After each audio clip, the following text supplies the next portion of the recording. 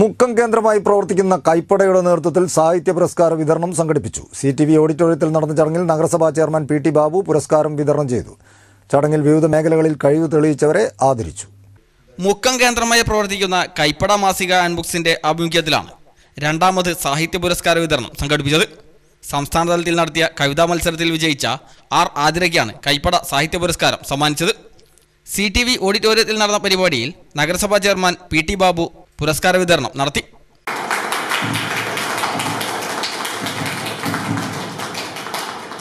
മുന്നൂറിലേറെ കവിതകളിൽ നിന്നായി നാലു ഘട്ടങ്ങളിലായാണ് പുരസ്കാരത്തിന് അർഹമായ അതേ കടൽ എന്ന കവിത കണ്ടെത്തിയത്. കവിതകൾ ക്രോഡീകരിച്ച് ഡോക്ടർ വി ടി കാട് പരമേശ്വരൻ സംസാരിച്ചു. സംസ്ഥാന ഫോക്ലോർ അവാർഡ് നേടിയ പ്രശാന്ത് കൊടിയത്തൂർ മുഖ്യമന്ത്രിയുടെ ഫയർഫോഴ്സ് മെഡൽ നേടിയ ഇ കെ അബ്ദുൽ സലീം രണ്ടായിരത്തി ഇരുപതിലെ രാംനാഥ് ഗോയങ്കെ മാധ്യമ അവാർഡ് നേടിയ ടി കെ സനീഷ് എന്നിവരെയും ചടങ്ങിൽ ആദരിച്ചു.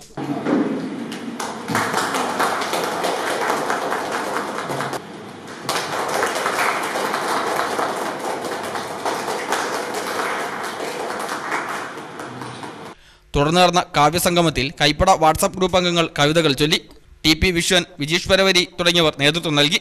ഉമശ്രീ കിഴക്കുംപാട്ട് അധ്യക്ഷയായ ചടങ്ങിൽ എൻ കെ രശ്മി സുജിത് ഉച്ചക്കാവിൽ തുടങ്ങിയവർ സംസാരിച്ചു. News bureau Mukkam.